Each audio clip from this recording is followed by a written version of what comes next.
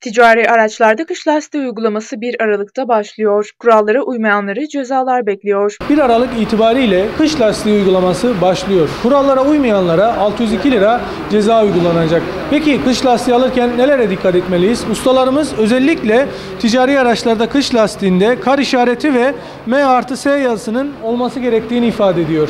Kış lastiği alırken işte üzerinde M artı S yazması, kar işaretinin olması, işte bir de markaya dikkat etmeleri lazım yani. Bir çeşit marka var yani. Ulaştırma, Denizcilik ve Haberleşme Bakanlığı tarafından hazırlanan ve 2012'de yürürlüğe giren araçların yüklenmesine ilişkin ölçü usulleriyle tartı ve boyut ölçüm toleransları hakkında yönetmeliğe göre kış şartlarına uygun olmayan kar lastiği takılmamış araçların yola devam etmelerine izin verilmeyecek. Abi artık kış geldi.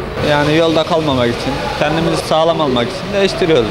Karda, kışta biz inşaatçı insanlarız. Her yere gidiyoruz yani. Kurala uymayan araçların işletmecilerine 602 lira ceza uygulanacak. Söz konusu uygulama 1 Nisan'da sona erecek. Kış lastiği kış şartlarına göre çok uyumlu lastiktir. Aracını aracısı kaydırmaz. Eksi 40 dereceye kadar kış lastiği yolda görevini yapar. Normal lastik eksi 5'ler gördüm bir de kabak tadı verir. Şu anda sezonu başlamıştır. 15-20 günden beri takıyoruz. Buradan müşterilere sesleniyoruz. Bir an gelsin kışlıklarını takalım.